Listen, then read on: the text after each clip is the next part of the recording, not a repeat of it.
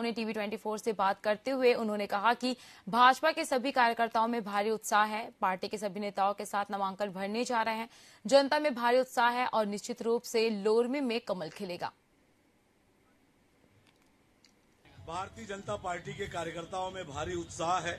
Party के सभी वरिष्ठ नेता, विधायक आदरणीय धर्मजीत सिंह जी, पूर्व विधायक खोखन साहू जी हमारे विधानसभा के संयोजक कोमल गिरी जी, पार्टी के सभी बड़े नेताओं के साथ नामांकन करने जा रहे हैं।